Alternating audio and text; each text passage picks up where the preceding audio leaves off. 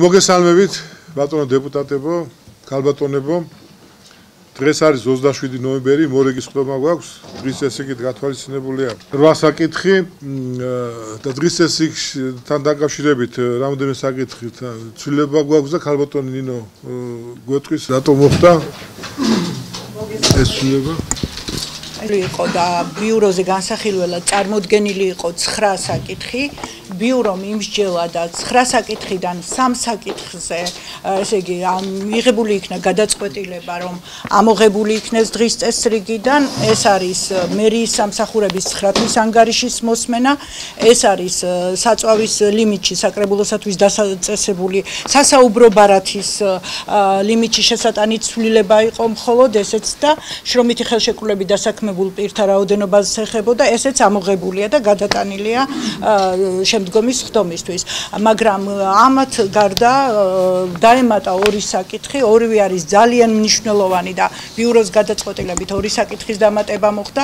ეს არის სტიქიით დაზარალებულ მოსახლეობას იცით რომ საკრებულოს ხდომაზე გაეწია 15 ნოემბერს, ანუ შეღავათი რომ განთავისუფლდა მიწის გადასახადისაგან, აქედან გამომდინარე ტექნიკური ხარვეზი იყო სიაში გადატანისას და მოხდა სამი მოქალა ქალაქის გამოტოვება და დღეს შემოტანილია უკვე მერიის ეკონომიკის სამსახურის უფროსის მოხსენებითი ბარათი და იმსჯელებს საკრებულო სამი მოქალაქისათვის ანუ ამ შეღავათის გავრცელებაზე და ასევე ინფრასტრუქტურული ესე იგი რეგიონალური განვითარების ფონდიდან მარნეულის მუნიციპალიტეტში განსახორციელებელი ესე იგი ფონდიდან პროექტების ნუსხაა შემოტანილი რომელიც ყოველთვის ძალიან ისეთი სწრაფად ოპერატიულად რომ მოხდეს მისი გათვალისწინება შეიძლება დაასახვა ბიუჯეტში, მოგეხსენება წლის ბოლოა და აი ერთ საკითხი დაემატა კიდევ, ანუ პროექტების მოწონება რეგიონალური ფონდიდან.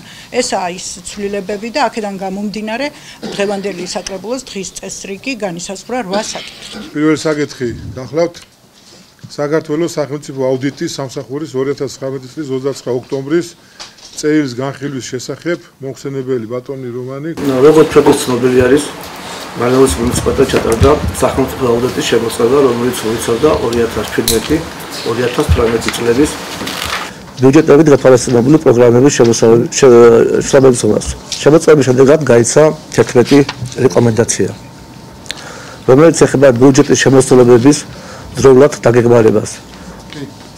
საგოლობის უფლებებით გაცემული ქონების საიჯარო ღირებულებების გადახედვას, ქონების განკარგვას კანონმდებლობის შესაბამისად.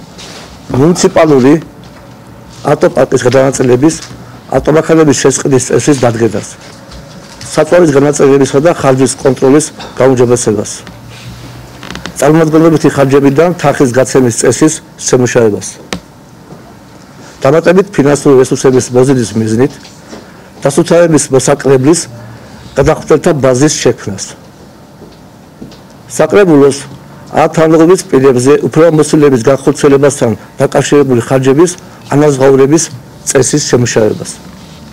ფინანსური მენეჯმენტთან დაკავშირებული საკონსტიტუციო მოსახულების ხარჯის გაწევის მიზანს შეუწყლობას და სხვა.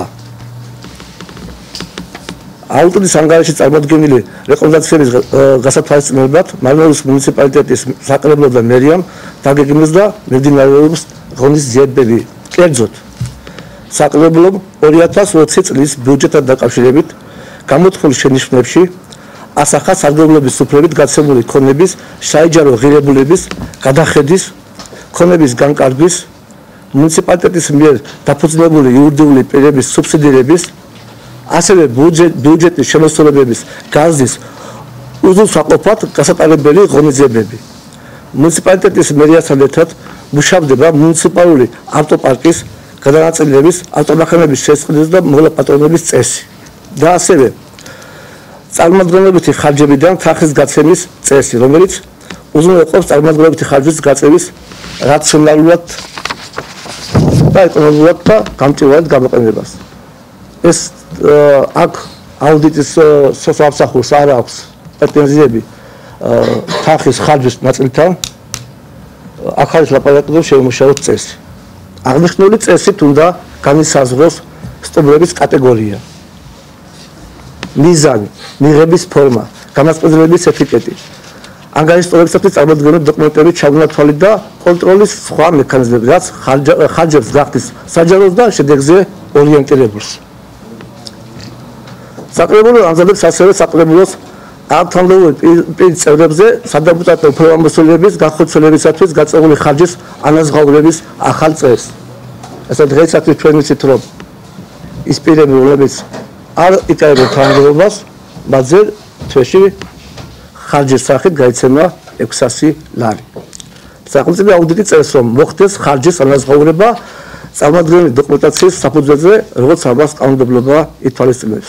აღნიშნული ხარვეზი დამახასიათებელია არამარტო მარნოვის მუნიციპალიტეტის არამედ თლიანად თელი საქართველოს მასშტაბით. რაც განპირობებულია იმით, რომ მუნიციპალიტეტში არ არის ესე იგი ის სამუთები ვერ მოაქვს, იმიტომ რომ მუნიციპალიტეტში არ არის გაბილეთიანება და რა არა ის სერვისები, რომლებიც უზრუნველყოფს საკაბულოს წევრის მხრიდან სადაპუტატო უფლებამოსილების განხორციელებისათვის გაწეული ხარჯის შესახებ დოკუმენტების წარმოდგენას.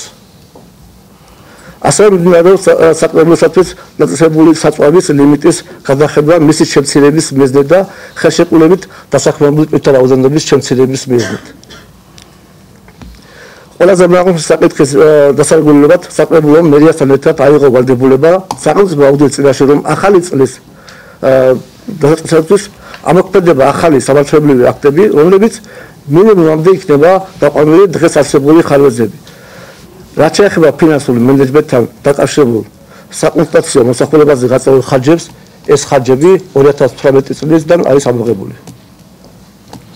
ეს საკითხებია, ძირითადად საკითხები და რეკომენდაციები, რომლებიც გაწეულია სახელმწიფო აუდიტის მიერ, რომელსაც ჩვენ დავიწყებთ შესრულებას. ბატონ ლაშა, ხოდა მოგესალმებით ყველას პირველ რიგში.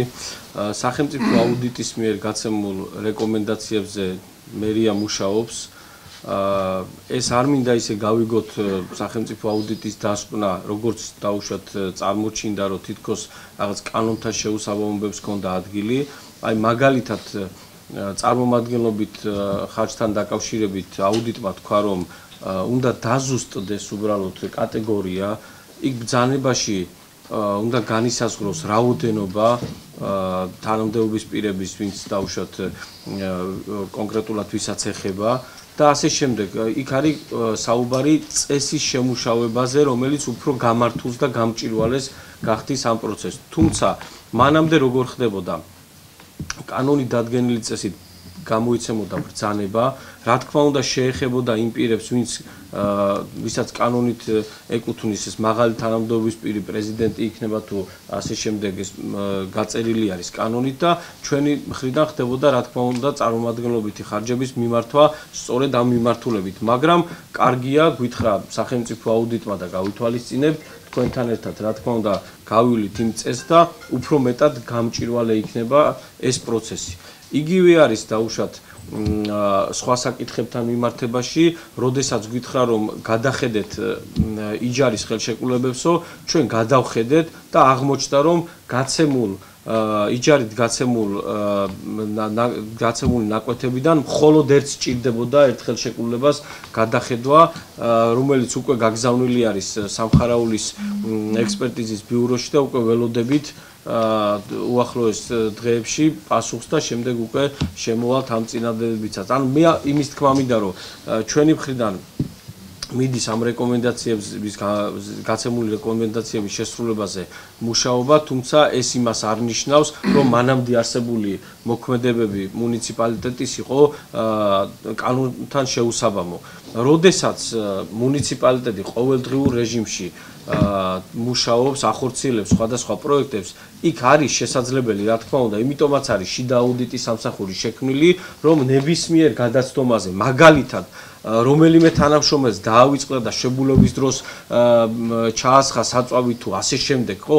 ამ დეტალებს შემდეგ შიდა აუდიტის სამსახური იხილავს და იმას შესაბამისი რეაგირება მოყვება და ეს კიდევ ერთხელ ხას უსვავ. არანაირად არ შეიძლება იყოს გაგებული ისე თითქოს და მარნეულის მუნიციპალიტეტში რაღაც განსაკუთრებული ხდება და ჩვენ არა ვართ აუშვათ ხალხის სამსახურში და უფრო მეტად სრულავთ პირად კომფორტზე. ეს ნამდვილად ასე არ არის, თქვენ ჩემზე კარგად იცით, ასე რომ ამ რეკომენდაციებსაც ღირსეულ პასუხს გავცემთ ჩვენი მხრიდან. მადლობა. იბატო, სიგი მადლობა. უბარა გაქვს ისეს რაიმე შენიშნა, კითხვა. ანუ ერთადერთი კითხვა მექნება ბატონობაში ახლა თქვენაც აღნიშნეთ, აი ტონობით ჩასმული ბენზინი მხოლოდ დავიწყებას მივაწეროთ ამის სხვადასხვა რას ნიშნავს ტონობით ჩასმული? აი ტონობით რომელიც ანუ თქვენ ამბობთ, რომ თქვენ იცით რამდენ ადამიანზე არის საწოვი გამოყოფილი? რამდენი ტონა მე ეს გავხსენე? ზედამხედველობის ზედამხედველობის სამსახური, ინფრასტრუქტურის სამსახური, რომელიც ყოველდღიურ რეჟიმში თქვენ იცით ჩვენი ტერიტორია, ჩვენი რაიონის 84 სოფელი გვაქვს, ყოველდღიურ რეჟიმში გადაადგილდება ჩვენს ადმინისტრაციულ საზღვრებში და მათზე არის გამოყოფილი შედარებით მეტი ლიმიტი და წლის განმავლობაში შესაძლებელია რომ ტონას გადააჭარბოს. კი ბატონო, გეთანხმებით.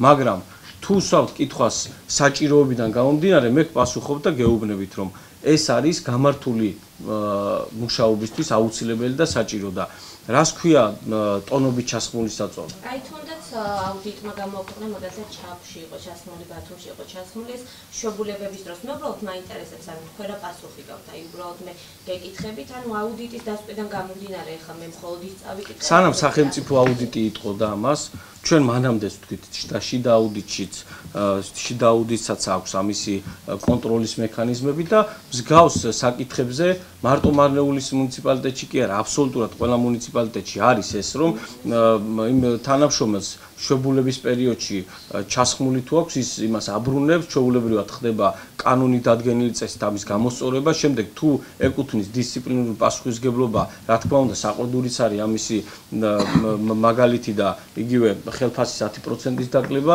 ისე რომ ძალიან გქოთ ახლა ტონობით საწოლზე ნუ ვისაუბრებთ, იმიტომ რომ კიდევ გეუბნები, ზედამხედველობის სამსახური mm, ყოველდღიურ რეჟიმში ხო.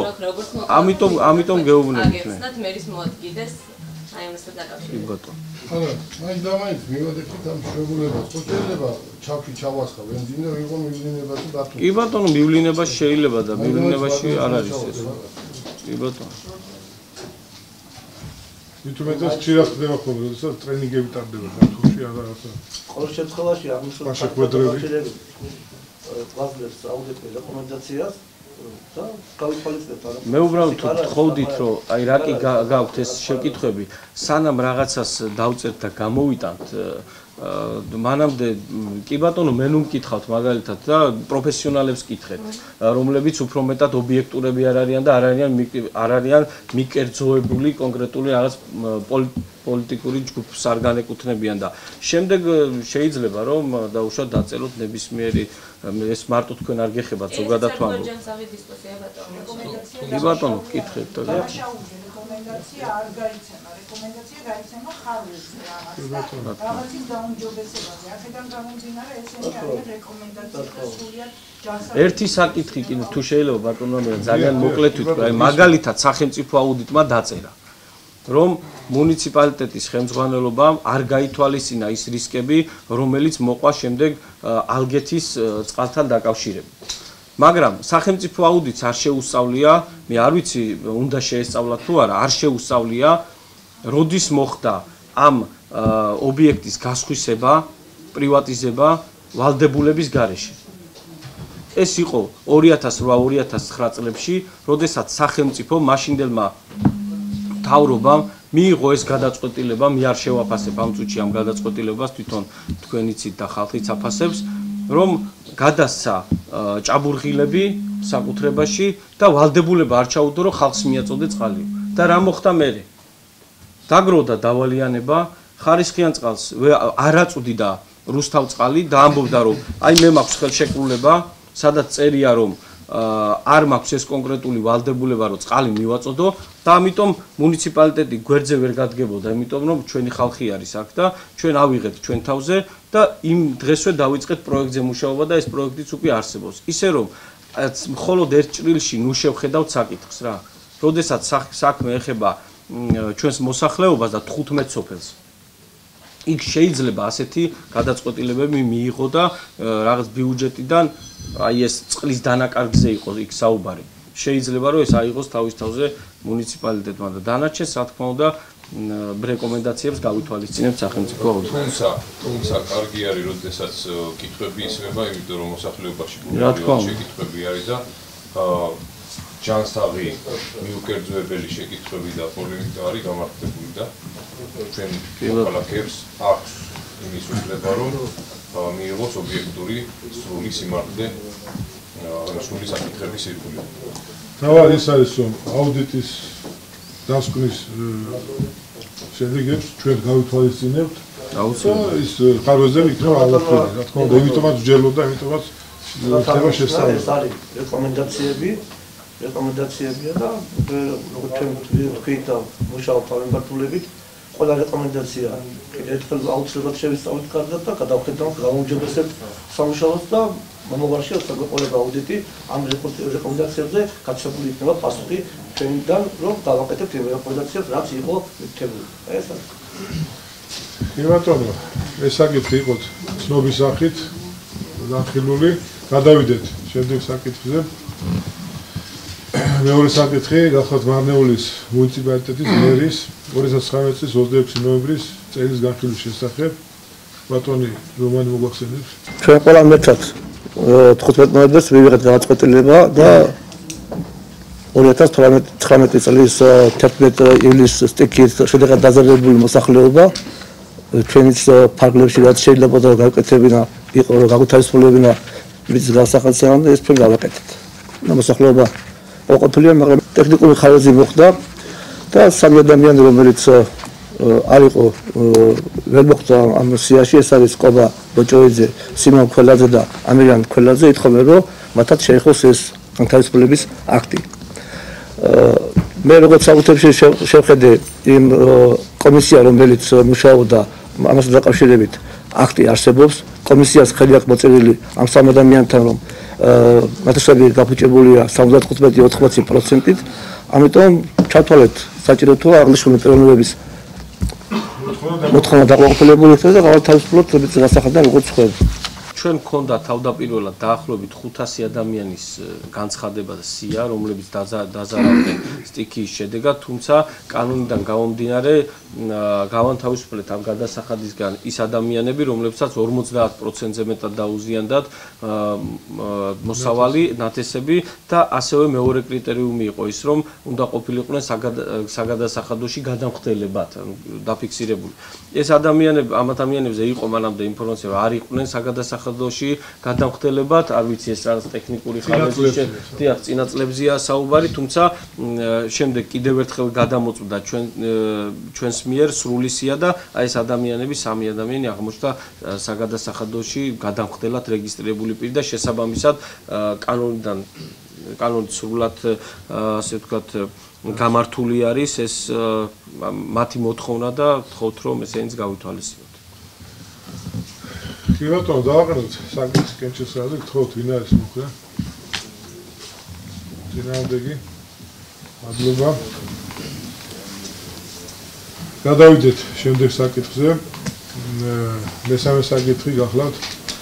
მარნეულის მუნიციპალიტეტის საკრებულოს აპარატის იურიდიული განყოფილების უფროსის 2019 წლის 6 ნოემბრის ნომერი 103-05 მოხსენებითი ბალანსის განხილვის შესახებ ქალბატონი შორენა მოგახსენეთ? მანუალის მუნიციპალიტეტის საკრებულოში შემოგვიდა გადაწყვეტილება მოხალხე გიორგი ქუთათელაძის მიწის გადასახადისგან გათავისუფლების შესახებ. აღნიშნულ გადაწყვეტილებასთან დაკავშირებით მანუალის მუნიციპალიტეტის საკრებულო მიმსჯელა და მიიღო შესაბამისი გადაწყვეტილება, თუმცა მოხალხის მიერ გასაჩივრებული იქნა ზემდგომ ორგანოში, ანუ სააპელაციო სასამართლოში გადაწყვეტილება და აღნიშნულთან დაკავშირებით 2019 წლის 19 სექტემბერს მარნეულის მუნიციპალიტეტის საკრებულოს მიერ 21 სხდომაზე ნომერ 4 პუნქტით გათვალისწინებული საკითხი ბათილად იქნა ცნობილი იმავე წესით, რა წესითაც იქნა მიღებული. ეს საკითხია. ვინაიდან გასაჩივრებულია სააპელაციო სასამართლოში და საქმე ჩანიშნულია 15 იანვარზე. წინა საკრებულოზე მიღებული ჩვენი გადაწყვეტილება. კარგით, ხომ არა გვაქვს სამი შეკითხვა? კი ბატონო, უყავთ კენჭი საკითხს, გთხოვთ, ვინ არის მოხრე? ნაოდეგი. მადლობთ. შემდეგი საკითხი. მეოთხე საკითხი გახლავთ.